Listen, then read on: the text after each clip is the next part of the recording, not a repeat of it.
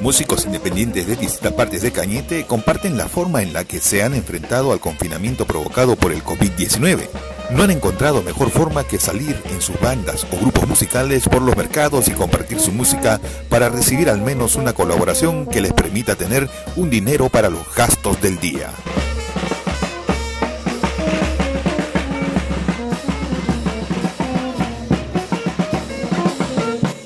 Pesar de que varios sectores empiezan a retomar sus actividades bajo la llamada nueva normalidad, las fiestas patronales, las verbenas, las procesiones con la participación de músicos tendrán que esperar unos meses más.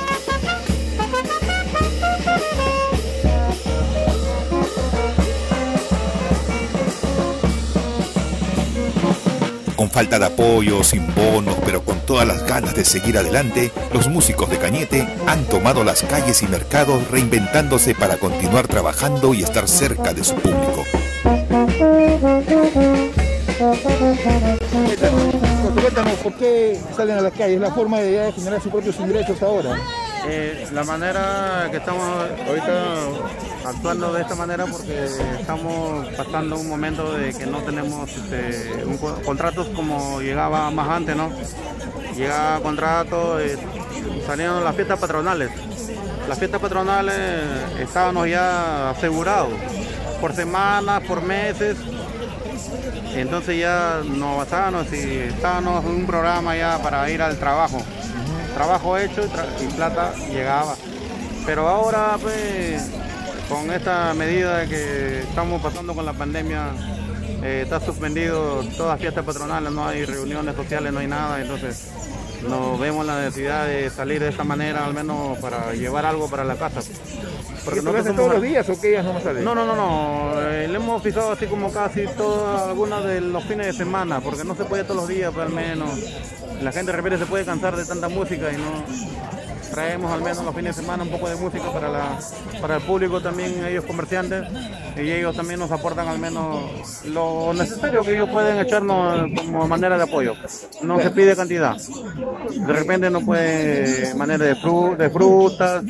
Sí, ¿no? Sí, de repente solcito. No le pedimos cantidad, nada más tocamos y ellos brindan ahí, tenemos nuestro una cajita ahí donde pueden depositar la menos. Es la única manera que pedimos que nos apoyen porque el Estado no nos ha brindado como artistas casi nada.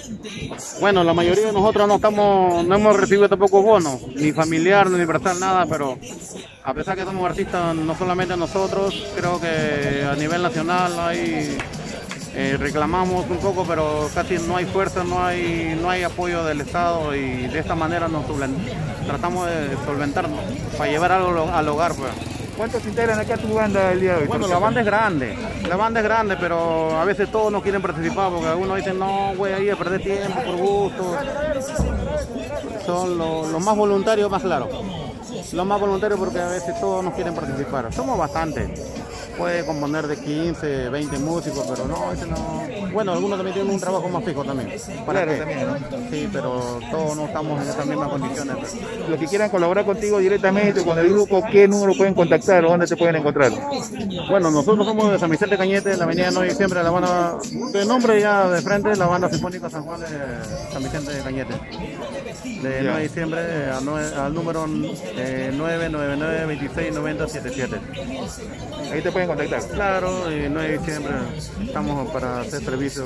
Bueno, como no como antes, como le digo, pero ya al menos estamos tratando de, al menos nosotros mismos organizarnos, porque ya no nos contratan como más antes, pues, por la medida de lo que ha puesto el gobierno, ¿no? Y respetamos, sí. Sí respetamos las leyes, todo lo que han mandado los estatutos, el protocolo, todo. La gente, estamos aquí un rato tratando de ambientar, ambientar, como se llama, ¿no? Con música. Y espero que al menos se sientan contentos también ellos para que no a, veces la gente también tan triste alguno no y de esa manera también este, también nosotros llevar algo para la casa.